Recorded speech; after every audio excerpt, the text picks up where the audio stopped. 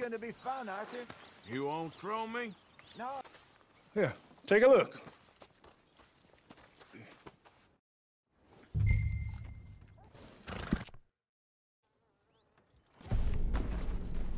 Interesting choice.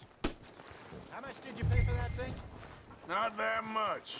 Okay, well, with some good care, you should be able to make something of it.